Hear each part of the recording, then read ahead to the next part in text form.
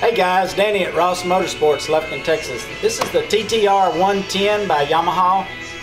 Little automatic bike, four speed, great for the kids to begin learning their skills on the track or the trails. It's electric start with a backup kick starter. It's an awesome bike to be a pit bike. Everybody loves these things. Come see us at Ross Motorsports.